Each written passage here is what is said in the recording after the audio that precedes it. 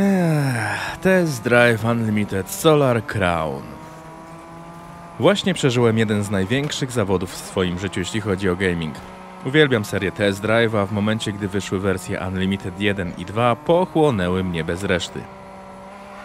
Niestety już pierwsze zapowiedzi najnowszej odsłony o podtytule Solar Crown nie napawały mnie optymizmem. Teraz po ograniu pełnej wersji mogę powiedzieć, że Katie Racing i Nakon zawiedli. Ja jestem Gucio, to są Grywolucje i zapraszam Was do recenzji Test Drive Unlimited Solar Crown.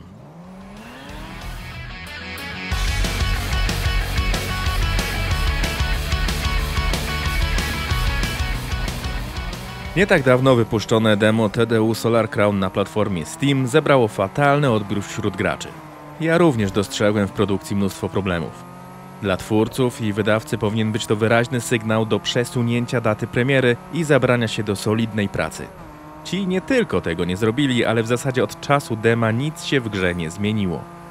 Testowałem wersję na PS5 i byłem zaskoczony, że nowe TDU zostanie wydane w takim stanie. Zacznijmy jednak od początku. Najpierw tworzymy swoją postać i o dziwo kreator jest tu bardzo mocno rozbudowany. Wybierając jednak fryzury, już czułem, że będzie coś nie tak. Wyglądały one okropnie i mam tu na myśli fatalne tekstury i jakieś dziwne prześwity. Okej, pomyślałem, że to raczej nie jest taka tragedia, bo pewnie i tak rzadko będę widział swoją postać. Po jej stworzeniu rozpoczął się krótki samouczkowy prolog i wtedy dotarło do mnie, jak bardzo jest źle. Domyślnie gra ustawiła tryb jakości, który jak się domyślacie za wiele z jakością nie ma wspólnego. Gra zatem działała w okolicy 30 klatek na sekundę, tyle że często musiało być ich mniej i było to bardzo dobrze czuć.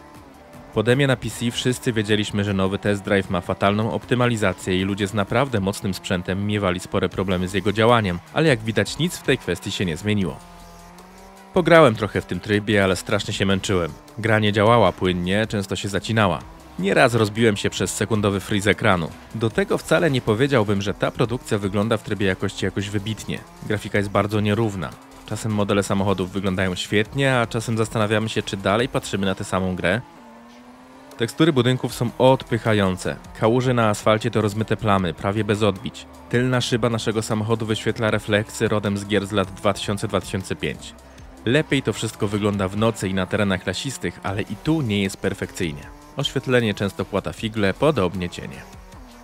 Niestety w trybie jakości gra działała w taki sposób, że moje PS5 miało ochotę wyłączyć się na wieczność. Musiałem zatem sięgnąć po tryb wydajności i wypaliło mi oczy. Faktycznie jest tu postęp, bo gra działa wyraźnie płynniej, choć nadal potrafi się zacinać w niektórych miejscach mapy i w niektórych sytuacjach. Ale jest wówczas tak koszmarnie brzydka, że nie mogłem się temu nadziwić. Starsza Forza Horizon 4, The Crew Motorfest, czy nawet będący jeszcze w produkcji polski JDM wyglądają o niebo lepiej. Przede wszystkim działają lepiej. Nigdy nie traktowałem grafiki priorytetowo, ale to, co się dzieje w TDU, naprawdę woła o pomstę do nieba. Z recenzenckiego obowiązku musiałem jednak zagryźć zęby i grać w takim trybie, bowiem była to jedyna opcja, żeby jakoś sensownie doświadczyć tej rozgrywki. No właśnie, to doświadczenie jest tu bardzo nierówne. Pomińmy teraz na moment stan techniczny gry, a skupmy się na modelu jazdy i zawartości. O dziwo jeździ się bardzo przyjemnie. Solar Crown jest zręcznościowy. Nawet jak wyłączymy wszystkie asysty, to nie poczujemy tu wyzwania. Nawet Mustang nie wydaje się być tak narwany jak w innych produkcjach. Mimo to jeździ się całkiem przyjemnie. Lepiej na asfalcie niż po szutrze, ale nadal w obu przypadkach fajnie. Jest to raczej gra, która świetnie nadaje się do niedzielnego popykania na luzie, bez większego zaangażowania. Owszem, denerwowałem się tym, jak działa ta produkcja, ale mimo to z chęcią chciałem włączyć kolejny wyścig, żeby jeszcze trochę przyjemnie się pościgać. Niestety samej zawartości nie ma jakoś super dużo. Z czasem robi się więcej wyzwań i wyścigów, ale nie uświadczycie tu takich fajnych misji pobocznych, jakie były w starszych częściach TDU. Bywa, że czasem będziecie musieli trochę grindować i nie mówię tu nawet o zbieraniu kasy na super samochód, bowiem to jest nawet normalne, ale po jednej z misji musiałem z piątego poziomu wskoczyć na dwunasty, mając zaledwie dwa wyzwania do wyboru. Tak oto przez godzinę jeździłem ze znużeniem, aby się wyekspić. Okej, gram w MotoGP, więc zapytacie w czym problem. Tam jeżdżę dużo dłużej w kółko po jednym torze. Owszem, tylko Test Drive to nie klasyczne torowe ściganie. To gra, która ma jakąś szczątkową fabułę i próbuje być czymś więcej. I sam wymagam od niej czegoś więcej, ale na pewno nie ciągłego powtarzania tych samych wyzwań. Wielki Hong Kong jest wymarły. Ruch uliczny jest niesamowicie skromny. Z jednej strony może to i lepiej, bo gra działałaby pewnie jeszcze gorzej, ale wiecie, jak się wybiera taki setting, to fajnie byłoby to jakoś lepiej ogarnąć. Hongkong ma ponad 7 milionów ludzi, a czujemy się tak jak w mieście Ginger po ataku Cella z Dragon Ball Z. Gdyby jednak podejść do tej gry w sposób relaksacyjny, to muszę przyznać, że świetnie się sprawdza do długich, spokojnych i samotnych przejażdżek. To było naprawdę przyjemne. Samych samochodów nie ma jakoś super dużo do wyboru. Te co są to raczej pojazdy pokroju Lamborghini, ale w sumie nie czepiam się, bowiem z tego zawsze test drive słynął, z przepychu i luksusu. Są one często bardzo drogie, więc ich ilość na ten moment nie będzie jakimś problemem, bowiem zanim zapełnimy naszą kolekcję, to upłynie jeszcze wiele wody w Wiśle. Mamy tu tuning zarówno mechaniczny, jak i wizualny, ale jak to w przypadku TDU bywa, jest on raczej skromny i ograniczony.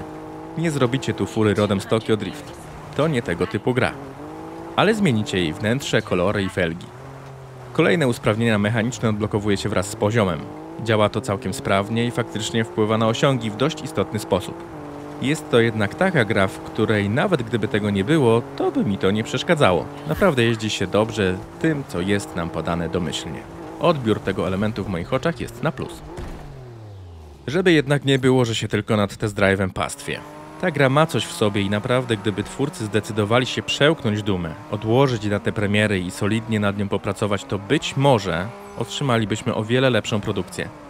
Gdyby gra chociaż działała w pełni płynnie, to już byłaby połowa tego sukcesu. Bo tak naprawdę to właśnie to najbardziej zabija jej odbiór. Dodadzą za jakiś czas Ibizę, choć samo miasto, motocykle, kasyno, ale ja wolałbym, żeby studio skupiło się jednak na doprowadzeniu gry do stanu używalności. To powinien być priorytet.